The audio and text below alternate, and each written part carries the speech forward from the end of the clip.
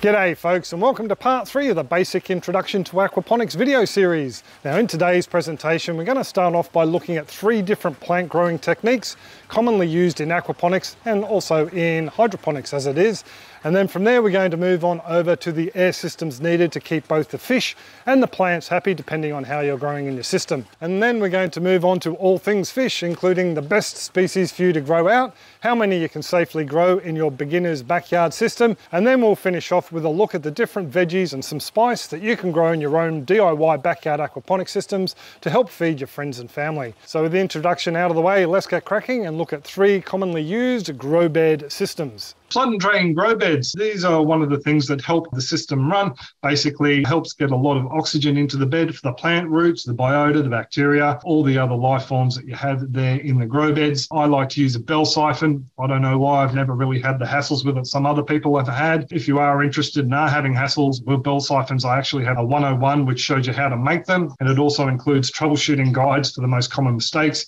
And they are very basic and easy to fix.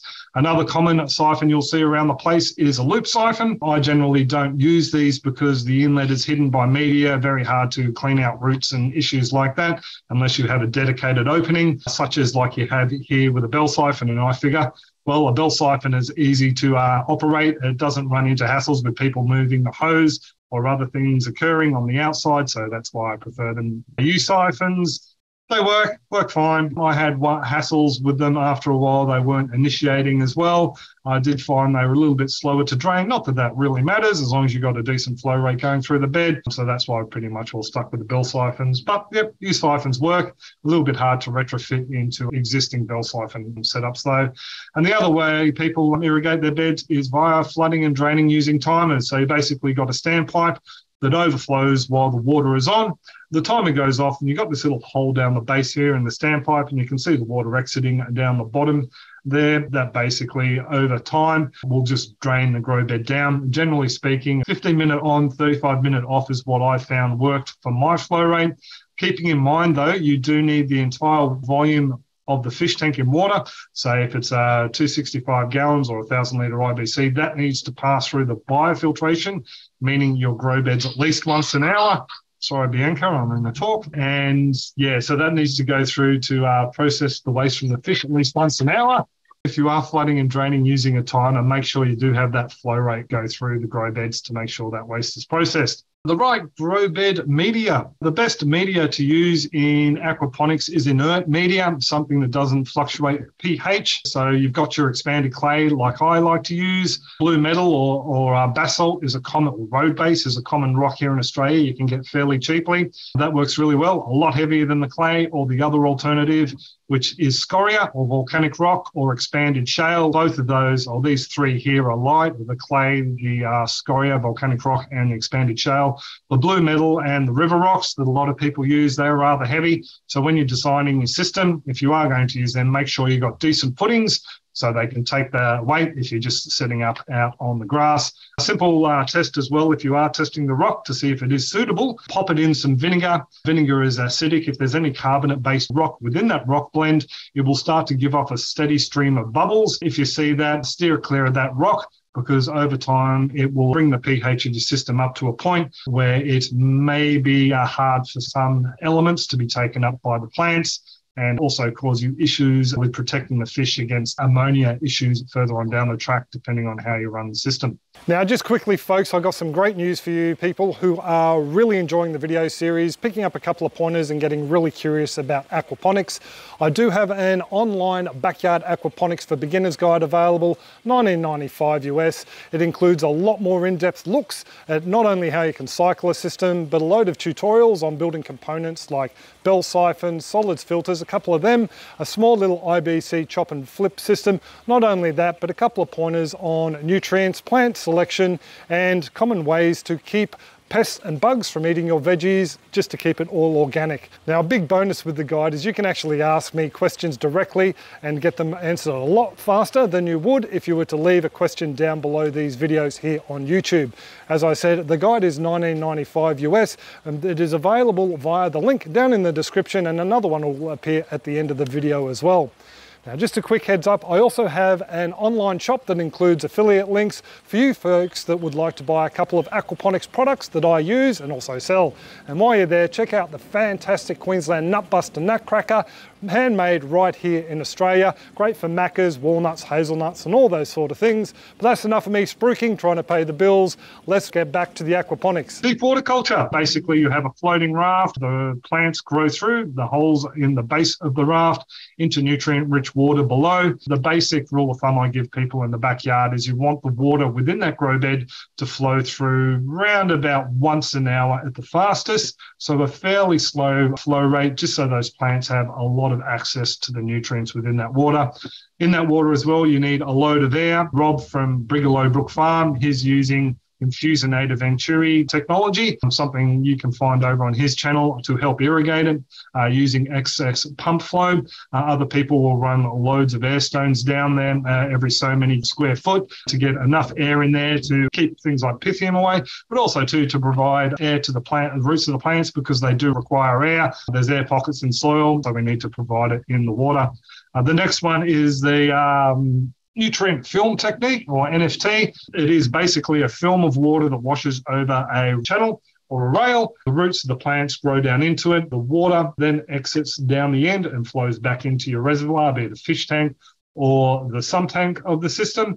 And yeah, it's just a continuous cycle, not a huge flow at all. You will see people use a round stormwater pipe here and they have end caps on it and they have basically probably about a couple of inches or um, an inch and a half or 40 mil of water in the base. That's sort of technically a deep water culture. The roots are always submerged. This one here is just literally, as you can see, open end, just a film of water running down through the base. Both methods work though.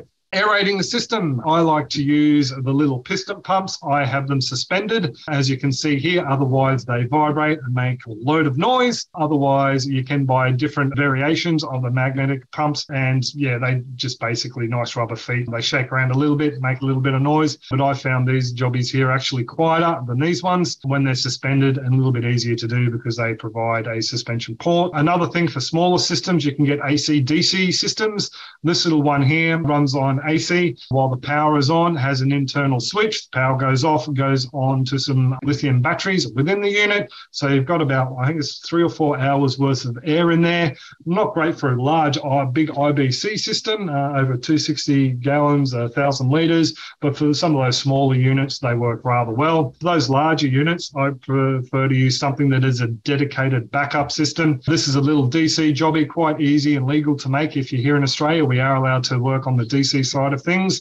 Uh, you just can't stuff around with the AC side. Uh, it's just made up with uh, a little switch here. Uh, it's plugged into a power source. The power source keeps the switch open. As soon as the power goes off, the switch shuts and creates a circuit, as you can see here, that is set up on a couple of batteries and fires off your 12 volt pump. And there's plans on the Backyard Aquaponics forum. That's where I got this idea. I think it's Chainsaw. He posted it, so take a screenshot of that and look it up if you're interested. Fish for the US, we have our uh, bluegill or sunfish. I think they're the same family.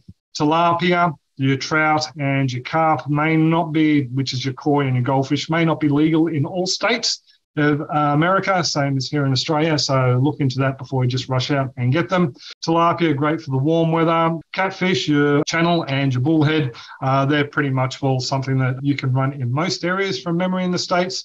Then for the smaller systems, you've got your ornamentals like your goldfish, your guppies, your koi, rainbow trout are as a good choice for cooler areas. And there's a there's a commercial place that's actually running salmon in the northeast from memory of the states. So there's loads. I mean, this is just a selection. There's loads of fish you can run. It just depends on whether you want something to chew on or whether you want something just ornamental wise in a smaller system, or you prefer not to partake of the flesh. In Australia, we got things like our go to silver perch. They're good for the cooler and the warmer areas.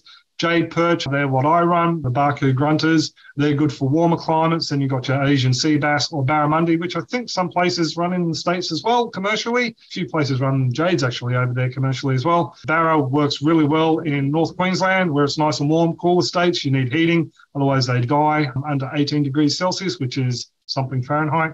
On the, oh, we also have other, other natives like the eel-tailed catfish or Tandanus tandanus Then we have our introduced species like redfin, are legal in New South Wales to keep these guys. They're a European perch, but they are legal in Victoria from memory. Uh, rainbow trout again, as long as as well as gold, golden trout and brown trout, I think are viable here in Australia. People also use bass as well, and I think a few people use bass in the states. And again, your ornamentals like koi, not legal in all states, illegal here in Queensland, and your other carp and uh, your goldfish and your um, guppies and things like that. How many fish in your system? I'll run through this really quick because we're running out of time. Uh, basically, what you need to do is work out the total volume of your grow bed. This is just basically a rule of thumb for you beginners starting out in aquaponics, can be tweaked down the line. There'll be a couple of people screaming in their chairs now saying, oh, you can have more. But anyway, this is the way I like to do it so you don't lose your fish. Uh, allow for an inch or 25 mil from the top of your grow bed and 25 mil or an inch of dry media on top of your wet media to stop algal growth. And once you take off that amount from the height of the bed, you then work out the volume of your grow bed by measuring your length, your breadth, and your height. Then you use that calculation to work out your volume. Then you work out that volume either in litres or in gallons by 25 litres per fish if you're working litres or 6.6 gallons if you're working in gallons. And that will give you the amount of media that you need to have a large enough bacterial colony to process the feed given to a fish at 500 grams into nitrate. So you're not going to end up with any issues poisoning your fish down the line. There are caveats in that, uh, but uh, if you're starting out and you follow those guidelines, you're not going to have a problem whatsoever. Just keeping in mind that you're looking at 500 grams of fish. So even if it's a fingerling and it grows up to 500 grams, that fingerling, you take it as being 500 grams because down the line, that's how big it's going to be. The fingerlings, you can purchase them from a hatchery, catching them from the wild where legal. Some places it is legal to do that. Get excess fingerlings from friend systems if you're um, lucky enough to grow things like carp and tilapia. A lot of people find that they will reproduce within the systems by themselves. So you might have mates into aquaponics who may have some that they can share around with you. When you do get new fish, if you're adding them into an established system with fish in it already, put them in quarantine first, just with their own water, just in case they do have some sort of disease or some sort of issue, so they don't spread it to the other fish. Likewise, if you are adding fish even into a brand new system and they're small, add them into a little nursery area because you don't want them being sucked up through the pump if you have a pump in the system or taken out through your drain work and delivered into a grow bed. They don't like living in grow beds. I can you that. Put them in some sort of isolation tank. Uh, what you can see here on the right is basically a laundry basket with fly netting on the inside. I probably should have had a few holes in the bottom as well because I did have a few solids build up and down in there. But that's enough to keep them isolated within there till they're a large enough size so they don't get sucked up and out through your drain work. Uh, just quickly, we're feeding the fish. I like to, to, use the satiation method. So basically, you weigh out a given amount of fish feed, you put it in there with the fish. You basically wait until they stop eating it and just adding a little bit at a time towards the end.